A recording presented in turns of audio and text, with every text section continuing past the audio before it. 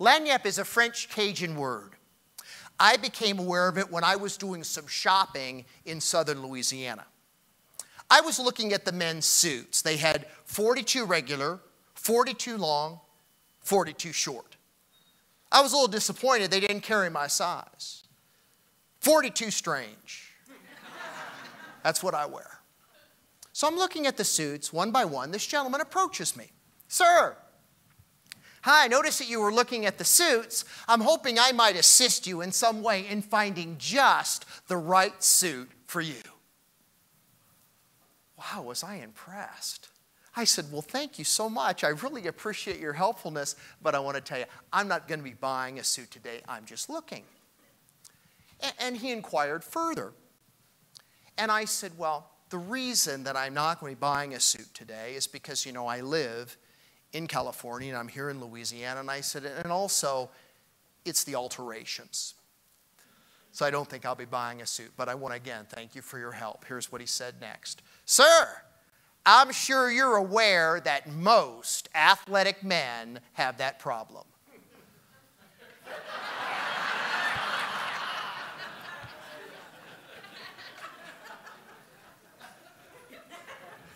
Always like having a conversation with someone who knows what they're talking about. And um, I said, Could you repeat that one more time?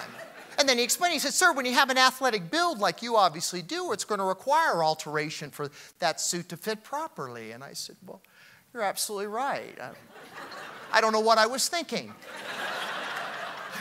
so I step in front of this three way mirror and he brings over a jacket and I try it on. And well, we've got a bit of a challenge. I mean, the arms are a little long. And I thought, well, should I purchase suit or shouldn't I? And finally, I thought, Roger Crawford, why are you putting all this pressure on yourself? You just need to consult with him and his expertise.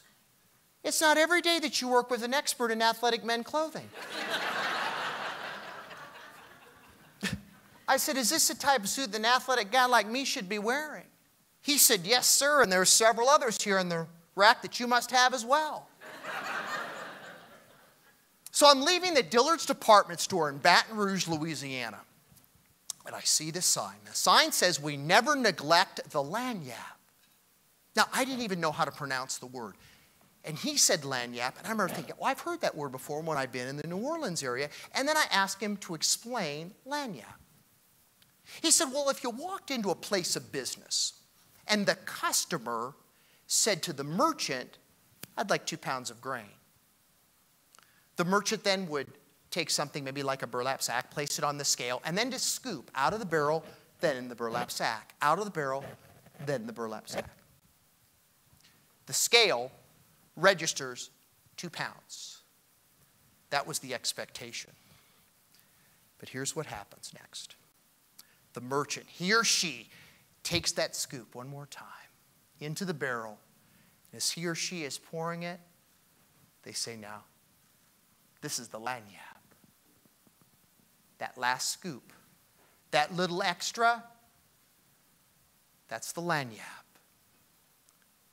The definition beyond full measure. It means a little extra. Now, lagniappe doesn't have to add to the bottom line. Each one of you in this room, as leaders, have that unique opportunity every single day to deliver lagniappe internally and externally. And we know people that have lagniappe internally are then more easily to share that lagniappe externally. And when it's all said and done, wouldn't you agree people really buy two things? Solutions and lagniappe. Leaders understand the difference maker is the little extra lagniappe beyond full measure.